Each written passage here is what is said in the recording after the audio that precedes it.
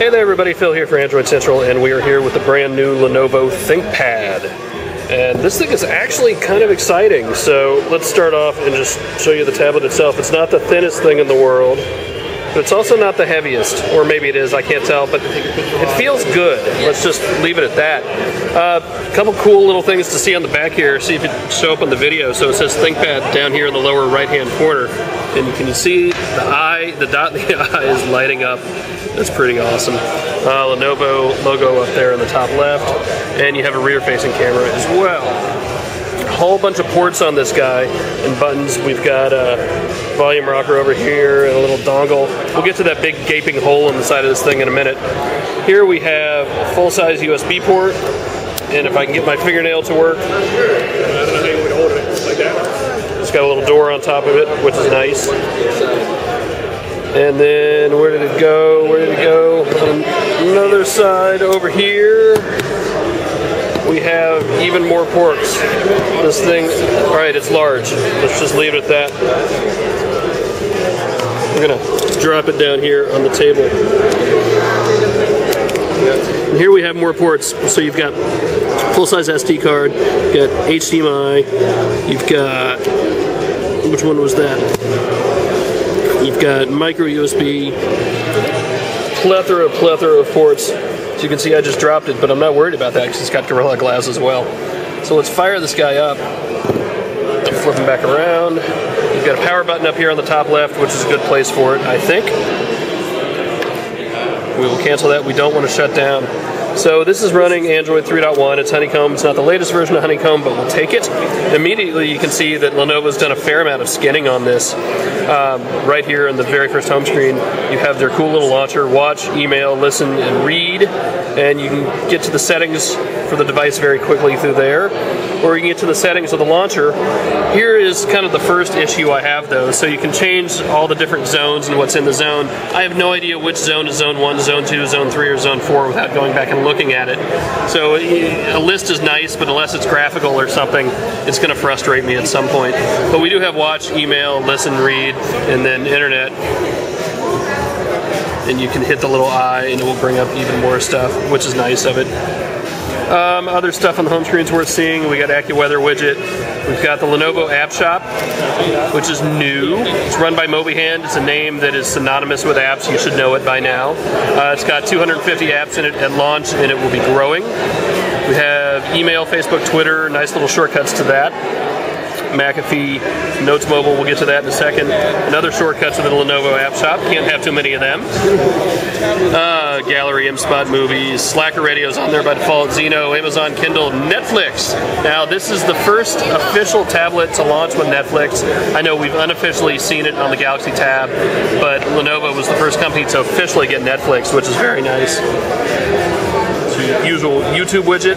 Uh, a couple other customizations, so you can see you have little indicators up here of which home screen you're on. That is nice. We've seen that on other devices, and I enjoy having that. Down here at the bottom, your buttons have been skinned. All right, those are the usual back, home, and your uh, multitasking. They've also included X's on this, so you can close out from an app right here from the multitask switcher, which is nice. You've also got this little button down here in the middle, and it pops up this guy in the side here. Almost looks like another multi-touch, uh, multitasking launcher, but it's not. It's really favorites. So you can have favorite apps, you can add them. See, that's how you can tell what's in there. If we wanted to add, say, Google Places, it in there thusly. Very simple, very nice. Really, almost the piece de resistance of this thing is a cool little app. Now, you remember that big gaping hole on the side of the tablet I showed you? Here's why. It's got a stylus, and the stylus, side is on? Here it is. The stylus fits into the side of the device like that. So it's got this weird little uh, red button that sticks out when you're carrying it around, and people are going to ask what that is, right? Well, it's the stylus. Let's see if I can get it back out here. So the ThinkPad has this really, really cool Notes app, which occasionally doesn't want to rotate the way it should, which is unfortunate. You can see I've already written the word Android Central there once. Here's how I did it. It's very cool. Let's just erase it. I've got a little eraser tool up here, and I'm going to write Android Central. Look at that, it digitizes it. Now it got Android, it didn't quite get cuts. So let's get rid of cuts.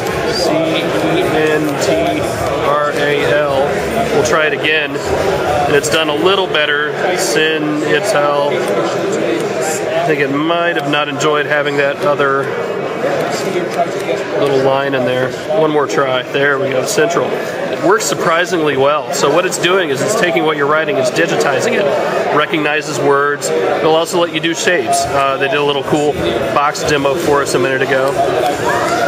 And I'll recreate it very poorly and see it turned it into a, a pound symbol, a hashtag.